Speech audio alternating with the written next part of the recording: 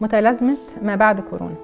آه، طبعا في أو لونج كوفيد خلينا أقول كمان آه، فكرة بقى التأثير بعيد المدى لكورونا. بعد مرحلة التعافي من كورونا تم رصد يمكن لغاية 80 عرض سواء آه، أعراض نفسية أو أعراض جسمانية.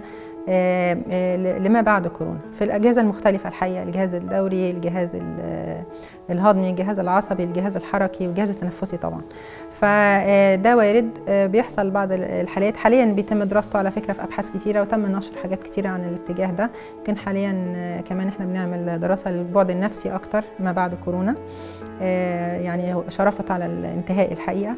آه، خلينا أقول ده يمكن يشجعنا أكتر ويرجعنا لفكرة إن أنا لما أطعم آه، مش بس بقى هيقيني من كورونا كمان هيقيني من احتمالية إن بعد كورونا آه، أبدأ أقعد فترة أعاني من من مشاكل ما بعد كورونا.